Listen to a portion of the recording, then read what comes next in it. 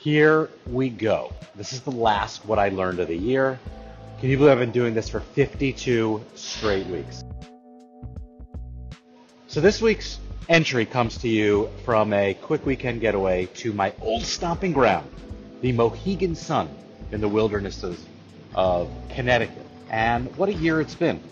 Without a doubt, I've learned more, shared more about lots of topics. Probably number one on this list was artificial intelligence we're really just scratching the surface.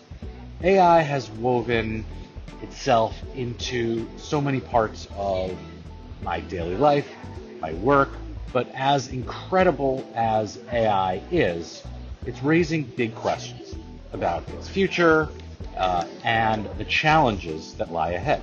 Things like energy consumption, ethical use, the impact of the workforce, and even the possibility of artificial general intelligence. It's thrilling, totally terrifying all at once. We are deepening our dependency on electronics, advanced computing, automated systems, autonomous technologies. But what if it all disappeared and we were thrust back into a time of just people and the earth and the land? Because as fast as the digital revolution has accelerated, it could stop in the blink of an eye. You don't believe me? While I was here, I'm here in this history of the sun exhibit at Mohegan Sun, reading about our actual sun.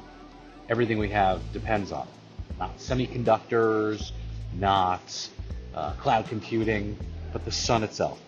And every so often, the sun emits something called solar flares. Right? These can mildly disrupt cell service, as we've seen, or mess with power grids. It's inconvenient, but manageable. But every so often, the sun will emit a coronal mass ejection, which sounds scary. And it is. These CMEs, they're massive eruptions of magnetized plasma from the sun's atmosphere that can destroy all electrical systems on Earth in under 24 hours. It's like pulling the plug on everything we've built and achieved over the past 150 years. Literally sent back to the 18th century or earlier, overnight. But this isn't science fiction. Back in 1859, the Carrington event was the most intense geomagnetic storm ever recorded.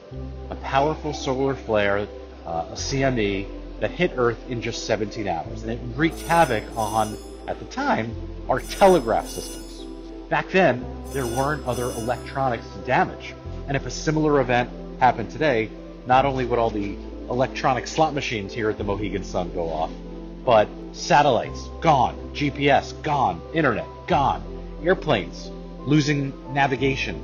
Uh, financial markets would cease to function. Supply chains would collapse. AI, the marvel of this age, would vanish in an instant. Its lifeblood severed. And server farms, data centers, succumbing to the geomagnetic currents. The reset would be brutal, a stark reminder of just how much we rely on technology, a mass extinction level event for humanity. And while science is awesome and all, there are really no viable forecasting methods, no mitigation strategies for CME prevention. There's no advance notice to shield us from sun's wrath.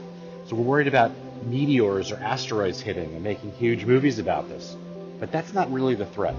And for CMEs, it's not a matter of if, but when, because they've happened before, just not in electronics age. So that's what I learned this week. Nature always finds a way. And on that happy note, Happy New Year to everyone, especially if you're not on vacation. But for those who are this week, don't forget your sunscreen.